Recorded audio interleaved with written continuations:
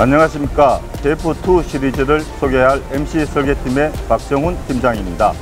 저희 현대위아는 2002년 초 국내 최초 linear motion guide를 채용한 수직형 머신센터 F 시리즈를 개발하였으며 그 이후 2017년에 이 F 시리즈를 개선한 KF 시리즈를 양산 중에 있습니다.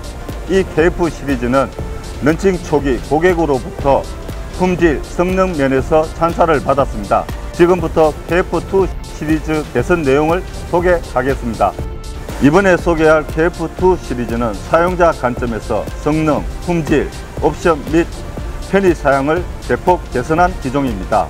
KF2 시리즈는 KF4600, KF5600 및 KF6700 2로 구성되었습니다. 첫 번째 성능입니다. 주축의 경량화를 통해 주축 가공 시간 단축, 보링 가공 시 떨림 개선, 정도 향상 및 Z축 지지 베어링 수명을 증대하였습니다. ATC 구동 방식에 대해서 인버터 모터를 적용하였습니다. 이를 통해 ATC twin arm 및 매거진 회전 속도 제어 가능함으로써 중량 tool, 경량 tool 사용에 따른 이원화 관리가 가능합니다. 품질입니다. 효율적인 칩 처리를 위해 상부식 칩 컨베어를 표준으로 적용하였습니다. 기구식 유수 분리 장치 구조 개선 적용하여 별도의 오일 skimmer 없이 coolant 탱크 내 오일 유입을 최소하여 기존 고객사 불만 사항을 해소하였습니다. 옵션입니다.